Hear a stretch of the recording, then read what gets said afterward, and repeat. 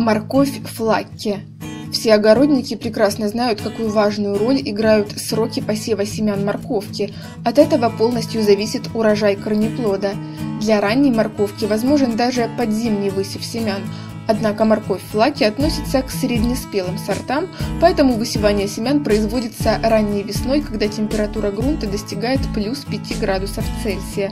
Но надо учитывать тот факт, что для получения хорошей окрашиваемости морковки необходима температура плюс 20 плюс 22 градуса.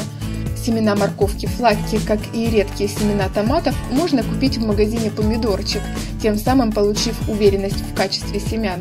Этот сорт морковки один из самых урожайных, обладает высокими вкусовыми качествами, массой корнеплодов до 170 граммов, хорошо хранится в погребах и подвалах, а также прекрасно транспортируется на расстояние.